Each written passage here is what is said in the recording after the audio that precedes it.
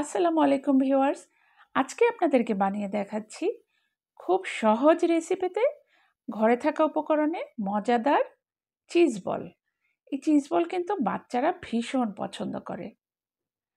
আর বিকেলের নাস্তায়ও আপনারা খুব সহজভাবে এটি তৈরি করে নিতে পারবেন। আশা করি আমার রেসিপিটি ফলো করে আপনারা খুব সহজেই ঘরেই তৈরি করে ফেলতে পারবেন মজাদার চিজ বল। এর জন্য আমি আলু নিয়েছি চারটে আলু সেদ্ধ করে খুব ভালোভাবে ম্যাশ করে নিয়েছি।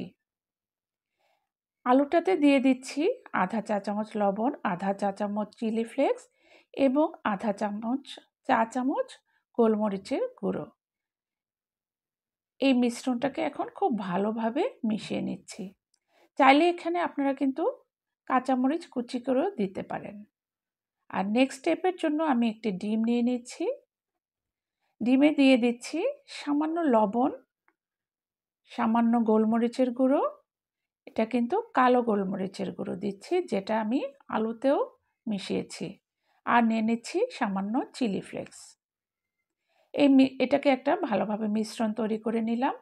আর এখানে নিয়ে নিচ্ছি ব্রেড ক্রামস ব্রেড ক্রামস কিন্তু আপনারা যে কোনো সুপার শপে পেয়ে যাবেন।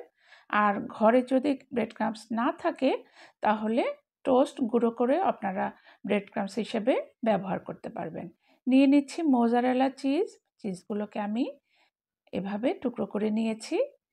এবার আলুর ডোটা থেকে আমি এভাবে হাতে নিয়ে গোল করে একটা বল বানিয়ে নিচ্ছি। আর বলটার ভেতরে একটু গর্ত করে এভাবে আমি এক টুকরো চিজ দিয়ে দিলাম। এবং এখন খুব ভালোভাবে বলটাকে আমি গোল আকৃতি দিয়ে নিচ্ছি। অনেক সময় দেখা যায় চিজ বল বানানোর পরে ভাজতে গেলে সেটা ফেটে যায়। তখন ভাজতেও অসুবিধা হয় আর খেতেও খুব আসল মজাটা পাওয়া যায় না। তো আজকের রেসিপিতে আমি চেষ্টা করেছি সেই সমস্যাগুলোর সমাধান করতে। তো আপনারা রেসিপির প্রত্যেকটি অংশ খুব ভালোভাবে খেয়াল করবেন এবং আমার দেওয়া টিপসগুলো খেয়াল করুন। তাহলে নিশ্চয়ই আপনাদের সেই সমস্যাটা আর হবে না।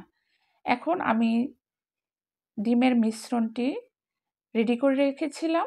সেটি একটু নেড়ে চেড়ে নিচ্ছি চামচ দিয়ে। একটি চিজ বল নিয়ে ডিমের মধ্যে এভাবে ডুবে চামচ দিয়ে ডুবাতে হবে। এটা কিন্তু হাত দিয়ে করা যাবে না। এখন ব্রেড ক্রামসের উপরে ছেড়ে দিলাম। ব্রেড ক্রামসটা এভাবে গড়িয়ে নিচ্ছি প্রথমে চামচ দিয়ে, এরপরে হাত দিয়ে। কোটিংটা কিন্তু খুব ভালো করে করতে হবে। আর এখানে একটি টিপস হলো, এই কোটিংটা যদি খুব ভালোভাবে করেন ব্রেড ক্রামসটা এবং ডিমটা ভালোভাবে লাগানোর পরে ব্রেড ক্রামসের উপর খুব ভালোভাবে গড়িয়ে নিলে, তাহলে কিন্তু ফেটে যাওয়ার সম্ভাবনা একদমই থাকবে না। এভাবে আমি সবগুলো বল রেডি করে নিলাম ভাজার জন্য। এখন চলে যাচ্ছি রান্নায়। যে চুলাতে আমি তেল গরম করে নিয়েছি। এখন আমি বলগুলো ছেড়ে দিচ্ছি। এখানে ডুবো তেল, তেলে ভাজার চেষ্টা করবেন আপনারা। আমি কম তেলে ভাজছি। আর সবগুলো একসাথে না দিয়ে অল্প অল্প করে দেবেন। তাহলে একটার সাথে আরেকটা লেগে যাওয়ার সম্ভাবনা থাকবে না। আর তাতে ফেটে যাওয়ারও সম্ভাবনা থাকে না। এই টিপসগুলো আপনারা অবশ্যই খেয়াল করবেন। এভাবে নেড়ে ছেড়ে আমি গোল্ডেন ব্রাউন কালার হলে নামিয়ে নিচ্ছি। এখন আমি সবগুলো চিজ বল কিন্তু আমার ভাজা হয়ে গেছে। দেখুন কি সুন্দর একটা কালার এসেছে। এবং কত সহজেই তৈরি হয়ে গেল আজকের মজাদার চিজ বল রেসিপিটি আশা করি আমার রেসিপিটি আপনাদের ভালো লেগেছে। খুব সহজে খুব কম সময়ে ঘরে থাকা উপকরণেই এই নাস্তাটি তৈরি করতে পারেন। আমি একটি চিজ বল ভেঙে দেখাচ্ছি। ভেতরের চিজটা কিন্তু দারুণ লোভনীয় হয়েছে। বাচ্চারা দারুণ পছন্দ করবে। তাছাড়া অতিথি আপ্যায়নে বিকেলের নাস্তায় এবং বাচ্চাদের টিফিনে কিন্তু আপনারা খুব সহজেই, খুব ঝটপট এই নাস্তাটি রেডি করে ফেলতে পারবেন। আশা করি আমার রেসিপিটি আপনাদের ভালো লেগেছে।